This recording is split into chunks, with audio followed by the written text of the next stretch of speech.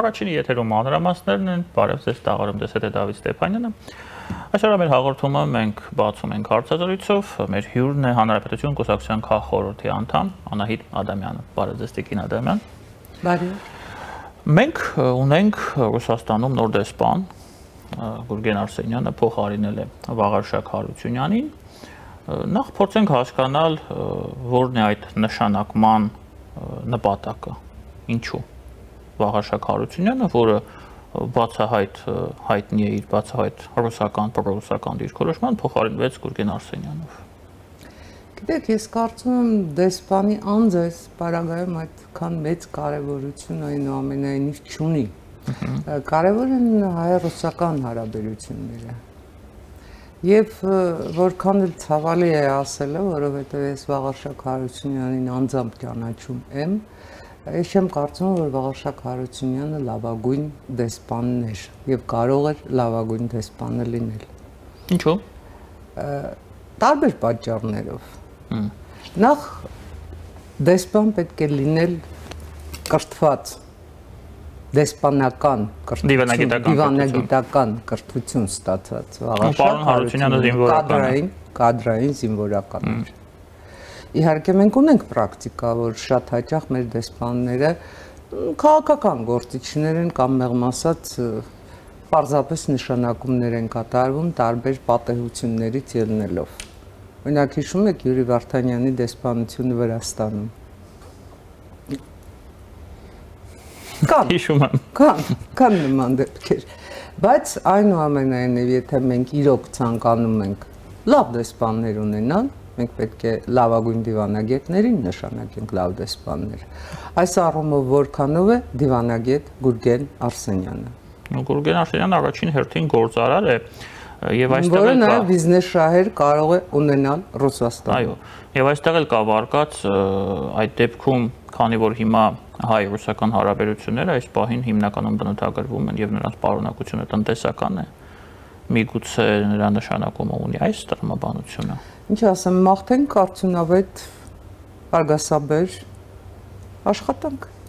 Նոր մարդը նշանակվել է, գուցե գնա ու բացահայտվի իբրև դեսպան, հանճարեղ դեսպան լինի, գուցե գնա Աղաշակ Հարությունյանի անցած ճանապարհը կրկնի։ Իսկ ընդհանուր առմամբ, եթե մենք ոչ միայն խոսքը Ռուսաստանի դեսպանի մասին է, դեսպանները հաշվի առնելով օրինակ Ռուսաստանի եւ Հայաստանի հարաբերությունների բնույթը այս պահին, որոնք շատ մոտ են ճգնաժամային։ Դեսպանի դերը այստեղ կարևոր նշանակություն ունի, դեսպանը կարող է ինչ-որ լուրջ դերակատարում ունենալ, ասենք այդ ճգնաժամի հարթմանը կամ չգիտեմ։ Կարծում եմ ոչ։ Կարծում եմ ոչ, որովհետև դեսպանը կատարում է միանշանակ արտաքին գործերի նախարարի հրահանգները արտաքին գործերի նախարարի հրահանգները պայմանավորված են վարչապետի ընդհանրապես պետության վարած արտաքին քաղաքականության։ Տրամաբանորեն ելնելով ոչ։ Գուցե, գուցե, ինչ ասեմ, կարող են լինել մարդկային ինչ որ կապեր, հարաբերություններ, որոնք իշակ կգործադրվեն։ Բայց Գիտեք, ես բազում դիվանագետ ընկերներ ունեմ, հրաշալի ընկերներ, որոնք այսօր էլ շարունակում են պաշտոնավարել։ Ու նաև նրանց փորձից ելնելով կարող եմ ասել, որ աշխատանքի հաջողության գաղտնիքը ոչ միայն դեսպանի անձից է կախված, այլև միջպետական հարաբերություններից, այն հարաբերություններից, որոնք հաստատված են այդ պետությունների միջև։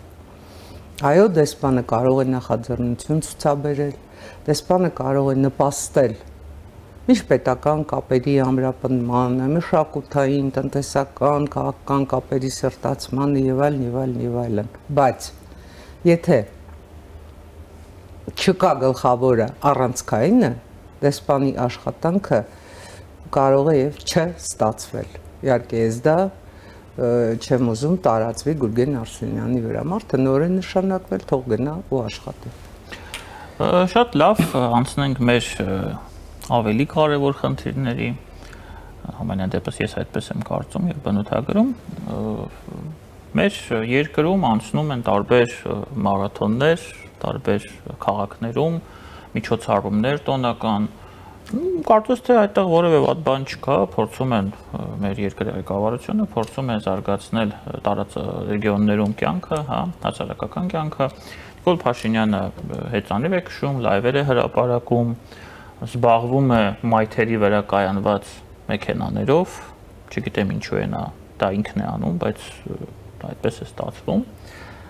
Այսինքն հիմնականում զբաղվում է ներքին հարցերով, հա, երկրի հետ Արտոնին հոգսեր Հա, ոչ թե ներքաղաքական նույնիսկ, այլ ուղղակի ներքին ինչ որ հարցերով, հա, չգիտեմ, դա դենեք մի կողմ։ Ինձ մոտ տպավորություն է ստեղծվում անձնական, որ որոշում է կայացվել երկրի ղեկավարության ներսում, հա, նրանց միջև, որ քանի որ նրանք չեն կարող այսօրվա դրությամբ ազդել որևէ որոշումների կամ իրադարձությունների երկրի շուրջ արտաքին քաղաքական ուղությամբ, այսպես բան ենք անում, էլի, գետի հունով գնում ենք, հա, միջև տեսնենք ինչ է լինելու ռուսական ավոսյով։ Ուղղակի չենք կարողանում, դրա համար ոչ մի բան չենք անում։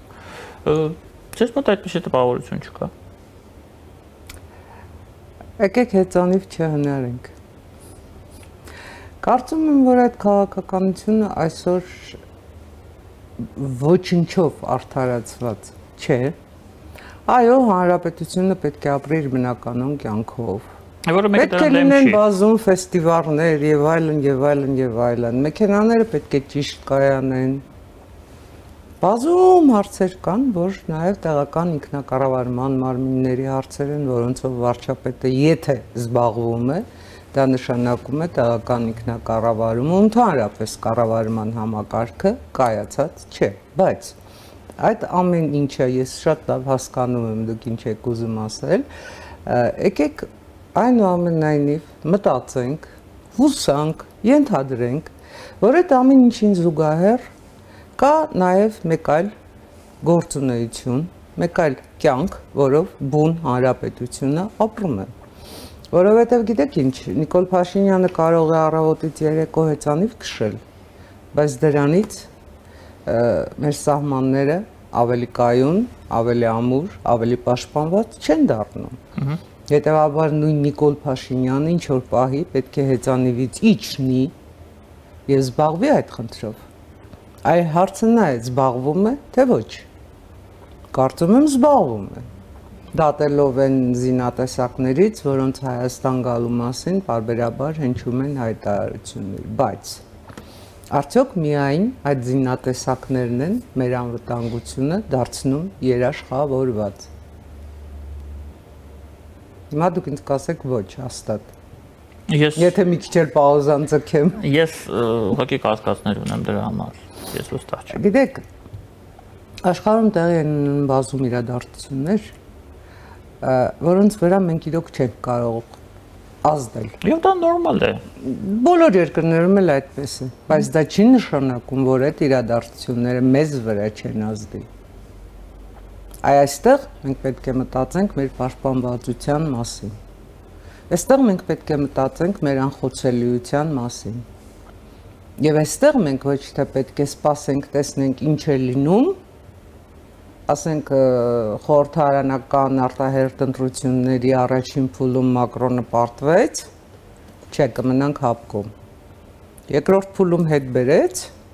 պարտությունը համարյա հաղթանակ դարձրեց, դե գուցե հապկից դուրս գանք, հա։ Այ այդ քաղաքականությունը Հայաստանի Հանրապետությանը հակացուցված է։ հա, որովհետև մենք պետք է ունենանք մեր ծրագիրը, մեր խնդիրները, մեր առաջնահերթությունները ու գնանք դրանով։ Մենք չտի սպասենք Ամերիկայի Միացյալ Նահանգներում ընտրությունները ինչպես կավարտվեն։ Մեր ռազմավարությունը պետք է ունենանք։ Այո, մեր ազգային անվտանգության, մեր պաշտպանունակության, ընդհանրապես մեր ազգային ծրագիրը ունենք թե չունենք։ Հարցը դա է։ Եք եթե այդ ծրագիրը ունենք, ու այդ ծրագրի մեջ մտնում են ձեր այդ ասած բոլոր ֆեստիվալները, բոլոր միջոցառումները, ամառը, հանգիստը, արևը, չգիտեմ, ծովը ինչ որտեղ, որ ծփում է, հրաշալի է, բայց պետք է լինի զուգահեռ այդ ամեն ինչը։ Որովհետև ելի եմ ասում, Հայաստանի Հանրապետության պաշտպանունակության հարցը օրակարգում է։ Հայաստանի Հանրապետության տնտեսական անվտանգության հարցը օրակարգում է։ Եկեք հիշենք, որ մենք տնտեսություն չունենք։ Տնտեսական աճ ունենք, տնտեսական ակտիվության աճ ունենք։ Տնտեսություն ցավոք չունենք։ Եկեք հիշենք մեր ներքաղաքական կայունության մասին։ Ես արդեն հոգնել եմ հաշվել թե գարուն, թե ժամար, թե ժաշուն։ Սեպտեմբերին սկսելու է։ Հա, բա ոնց, անպայման միանշանակ ու հաղթելու են։ Այն ինչ որ մայիսին ինչ եղավ, լինելու է սեպտեմբերի, չգիտեմ, գուցե 19-ին, 29-ին, 39-ին։ Իդեպս որ գինադեմ տեղեկատվություն հրապարակվեց, որ Արման Թաթոյանը Դավիթ Հանանյանը նախքին ՊԵԿ-ի ղեկավարը նոր կուսակցություն են հիմնում։ Եվ շատ հետաքրքրական է, որ նրանք կարծես թե ժամանակին այդ սրբազան շարժման ակտիվ թե пассив, չգիտեմ, ինչպես բնութագրեմ, դա էլ է շատ հետաքրքիր հարց։ Ակտիվ пассив։ Ակտիվ пассив, հա, շնորհակալ եմ։ Մասնակիցներ են, բայց հիմա արի ուտես, որ նրանք դիստանցիավորվում են սրբազան շարժումից։ Ինչի է դա տեղի ունենում։ Անկեղծ ասած, ես չեմ կարծում, որ նրանք դիստանցավորվում են սրբազան շարժումից։ Դեռ այդ շարժման ծաղկման օրերին ես ասում էի, որ սա նախապատրաստություն է խորհրդարանական ընտրությունների։ False start եւ ելնելով շարժման անցած ընթացքից, ելնելով բարձ ասենք ձախ հողումից, ակնհայտ էր, որ շարժումը պետք է այնուամենայնիվ կուսակցական հանդերձավորում ստանա, որտեղ համաժողովրդականն է չստացվեց։ Դուք կարծում եք, որ սա շարժման շարունակությունն է։ Ես կարծում եմ, սա, ահ, սա ավելի շատ ոչ թե շարունակություն է, այլ ռեբրենդինգ, պարզապես, բայց ելնելով այն դեմքերից, որոնց դուք նշեցիք, Գուցե նաև ցուցակում լինեն այլ հայտնի ու անհայտ հասարակության անդամներ, դա լինելու այն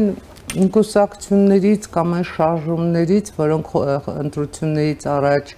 ստեղծվում են, ոչինչի չեն հասնում, հետո անհետանում են։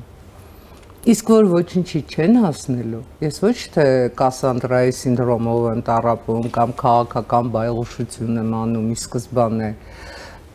ես պարզապես ֆիքսում եմ փաստը, որ նոր գաղափարներ չկան։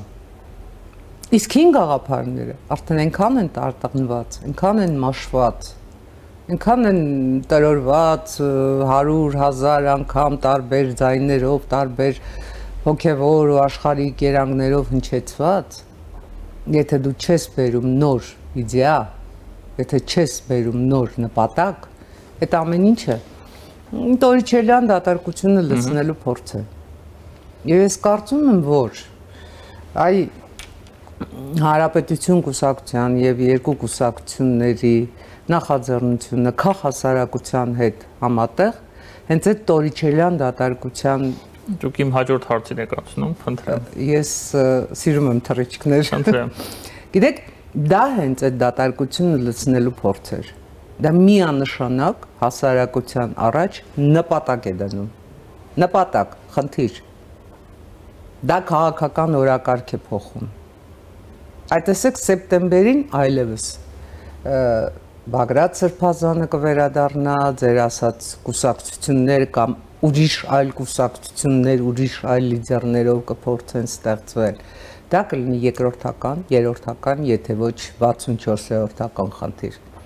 որտեղ պետությունը ունի բոլորովին այլ խնդիրներ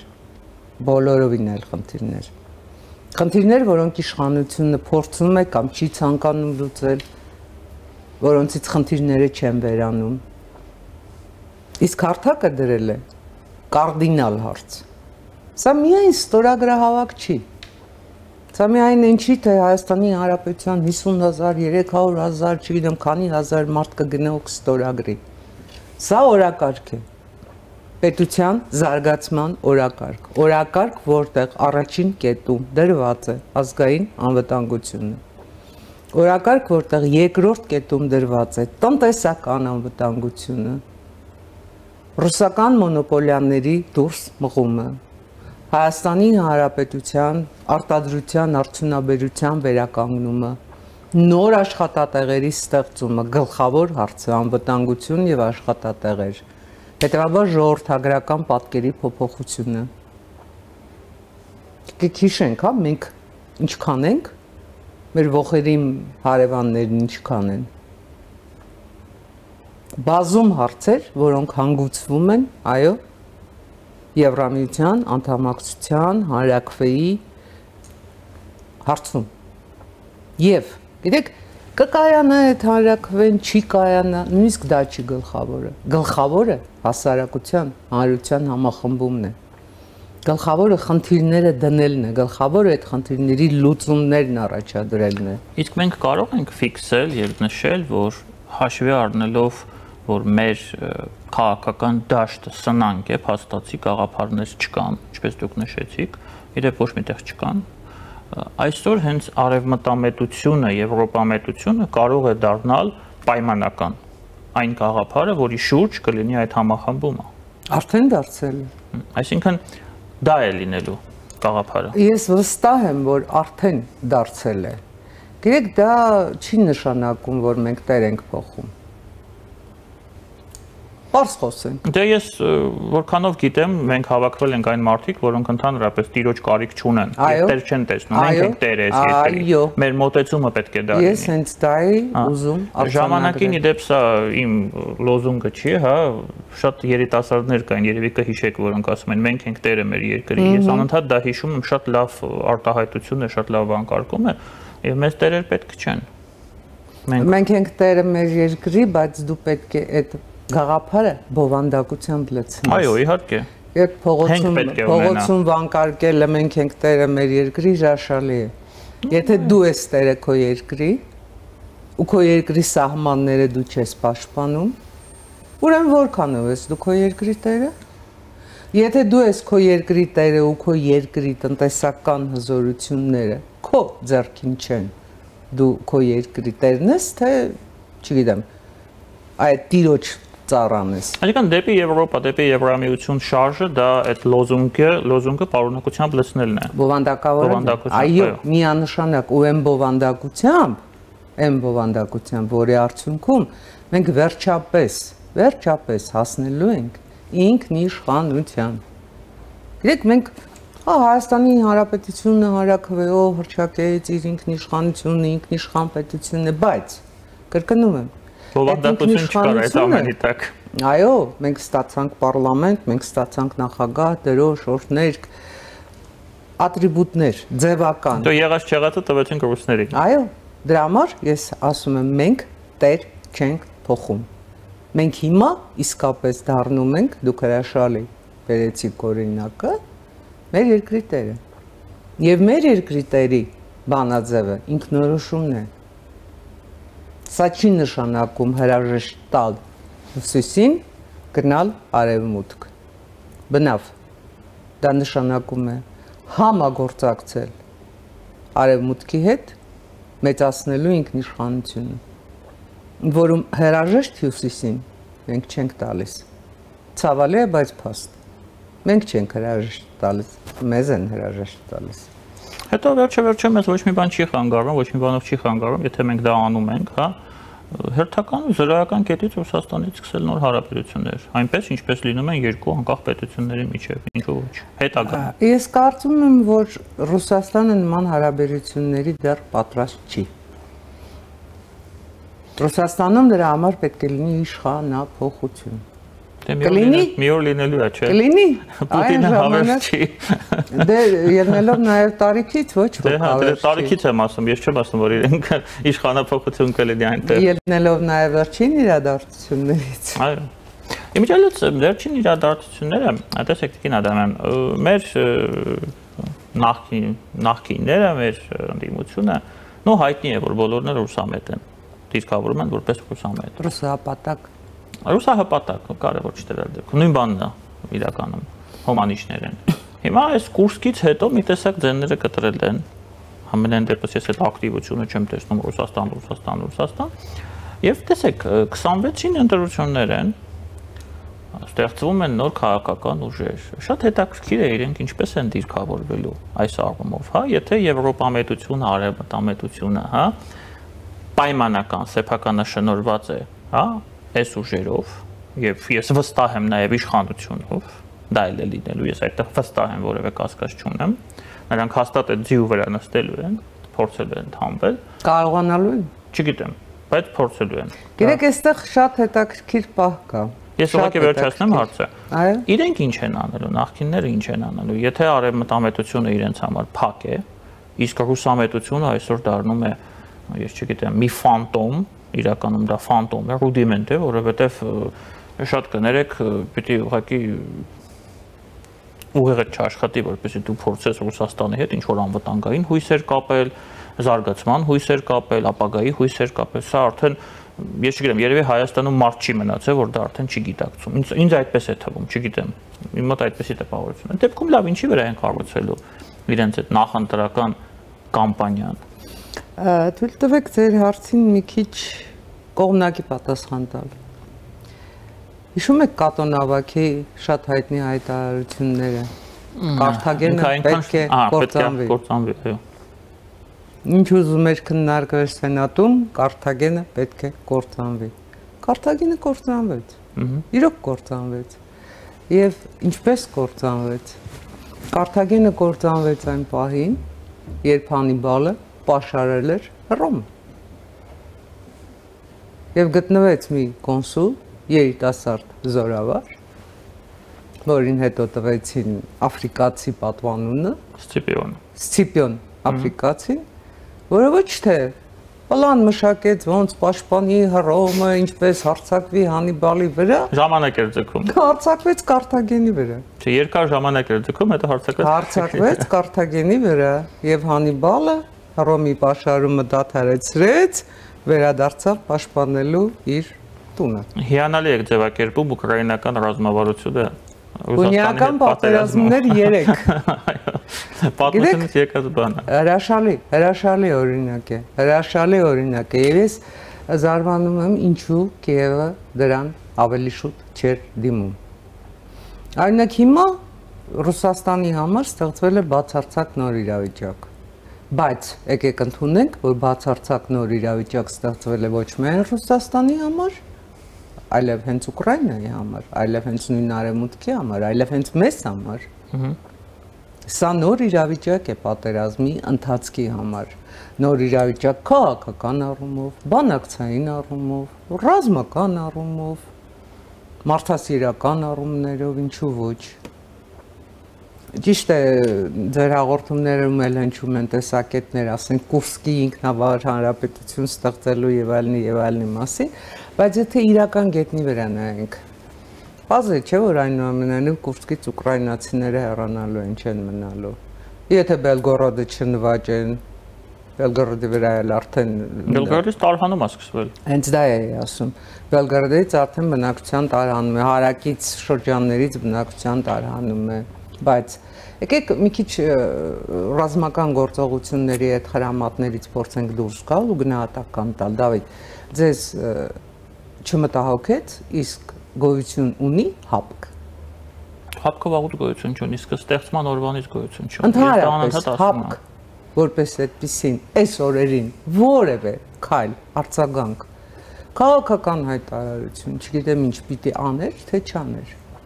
Տեսեք, մենք շատ լավ են հասկանում, որ այդ հայտարարության տակ որևէ մեկը չի ստորագրի բացի Լուկաշենկոից։ Այն էլ դրա համար, որ Պուտինի անձնական պատլեցն է ուրիշ ոչ մի բան։ Մենք այսօրին ունեցանք միայն Զատուլինի անկապ հայտարարություն, ուրիշ ոչ։ Դե փորձ էր երեսի արտահայտությունը պահել վատ խաղի ժամանակ։ Բայց մենք գոնե մեզ համար, մեզ համար այդ ամեն ինչից ֆիքսեցինք, որ մեռելացին, չգործող, անիմաստ, անհեթեթ,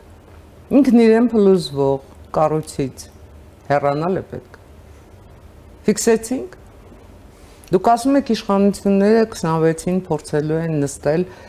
եվրոպական ձիու վրա։ Իհարկե փորձելու են, արդեն իսկ փորձում են, բայց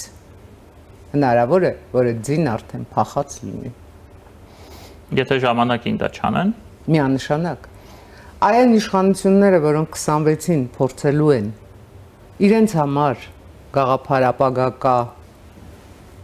կա ապագա, չգիտեմ էլ ինչ, այդ ապագան այսօր պիտի ստեղծեն իրենց համար։ Համաձայնվելով եւ եվրակովի անցկացնել։ Այո, միանշանակ, որովհետեւ գիտեք ինչ, 2026-ին դու այլևս չես կարող անել այն քայլերը, որ պիտի անեիր այսօր։ Եթե դու իրոք հասկանում ես, որ արևմուտքը Հայաստանի Հանրապետության համար ան այլընտրանք զարգացման հերանեկարային միակ, կրկնում եմ, ան այլընտրանք միակ ճանապարհն է, ինչու՞ չես ստեղծում Եվրոինտեգրման նախարարություն, որը կհամակարգի կզբաղվի բոլոր այդ խնդիրներով Ինչու չես հայտարարում, որ Հայաստանի Հանրապետությունը Եվրամիության անդամակցության տեխնացու է։ Դեռ ես չեմ խոսում հանրահավաքի մասին,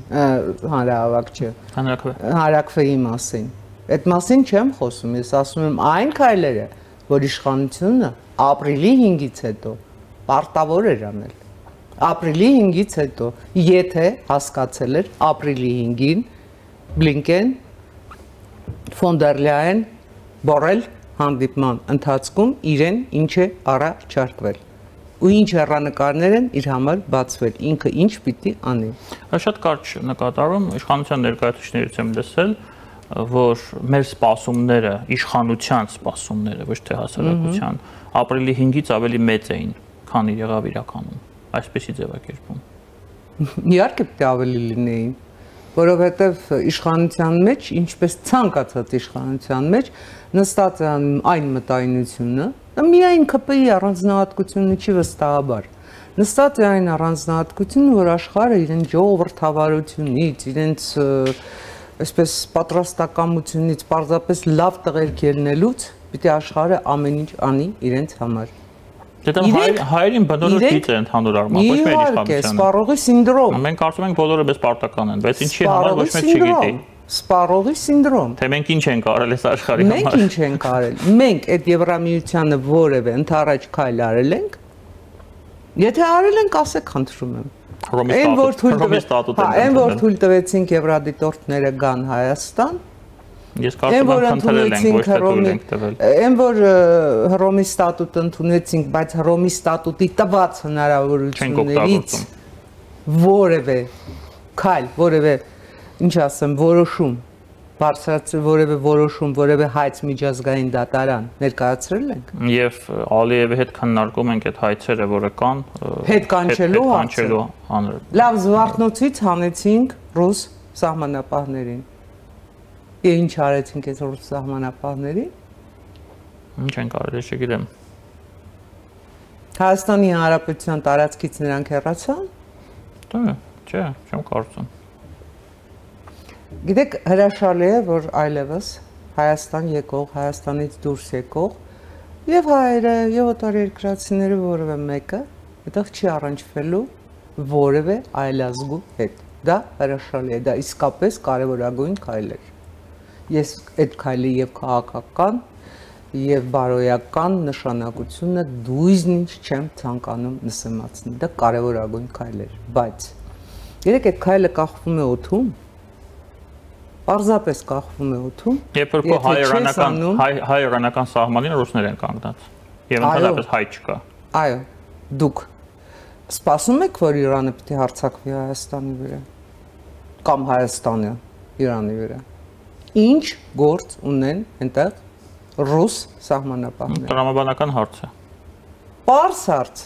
Ինչ գործ ունեն ռուս սահմանապահները վերացած պետության ԽՍՀՄ-ի սահման պահող հայ-թուրքական սահմանին։ Օրինակ, ես չգիտեմ ինչու վստահ եմ, որ հայ-թուրքական հարաբերությունների կայացման համար ամենագլխավոր, ամենաներկայացված, ամենագովազդված, ամենա, չգիտեմ, փաստարկված, հիմնավորված խոչընդոտը բնավել Ադրբեջանը չէ։ Սահմանապահները։ Եվ քանի դեռ, եւ քանի դեռ ռուս սահմանապահը կանգնած է հայ-թուրքական սահմանին, սահմանը փակ է մնալու։ Եկեք այդ մասին մտածենք։ Դեք այնքան կեղծ օրակարգեր կան մեր քաղաքական քննարկումներում։ Եկեք վերջապես այդ կեղծ օրակարգերից ձերբազատվենք, դնենք մեր պետական շահը, պետական, չեմ ասում իշխանության, պետական շահը եւ գնանք այդ շահի հետևից իշխանությունները փոխվում են։ Պետությունը չի փոխվում։ Եվ այն իշխանությունը, որը չի ծառայում պետական շահին, Փարքաստու իսկապես ժողովրդավարական երկիր ենք, միանշանակ ընտրություններում այլևս չի դառնալու իշխանություն 50+1 չի ունենալու այ հիմա մեզ համար ամենակարևորն է ոչ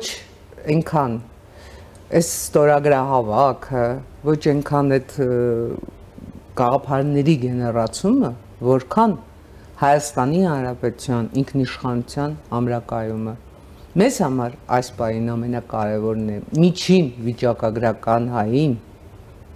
միջին վիճակագրական հայի համոզմունքը դարձնել, որ Հայաստանի Հանրապետության զարգացումը, Հայաստանի Հանրապետության անվտանգությունը, տնտեսությունը, քաղաքներ քաղաքական կայունությունը, մշակույթի զարգացումը, այն փաստը, որ ինչպես ինքը լուծում է այսօր հարցեր, որ չեն լուծել իր պապերն ու հայրերը, ինքը այլևս չի ժառանգելու իր որդուն։ Այդ դա է ամենակարևորը։ Կայունություն, զարգացման հեռանկար։ Գիտեք, Նիկոլ Փաշինյանը մի արդյունք ճիշտ էր։ Մենք պիտի երջանիկ լինենք։ Ես դա ընդունում եմ։ Բայց այդ երջանկության համար մենք չպիտի սպասենք արևմուտքը մեզ կբերի երջանկություն, կտա մի քիչ, մի քիչ Ֆրանսիան, մի քիչ Մեծ Բրիտանիան, դե Ամերիկան ընդհանրապես երջանիկների երկիր է, երջանկությունը կբերի կլցնի, չէ։ Այդ երջանկությունը դու պիտի քո տանը ստեղծես, քո տանը որտեղ ուրիշի տներում երջանիկ չես լինելու։ Որ երկրում ուզում ես ապրի, երջանիկ լինելու ես միայն քո տանը։ Տիկին Ադամատ, Կինադամա, առաջարկում եմ այս շատ լավ գեղեցիկ խոսքերով ավարտենք մեր այսօրվա զրույցը, շատ շնորհակալ եմ ձեզ։ Մեր հյուրներ Հանրապետության Գոսակցության քաղաքորթի անդամ Անահիտ Ադամյանը, մենք կշարունակենք մեր եթերը կարդացարից հետո։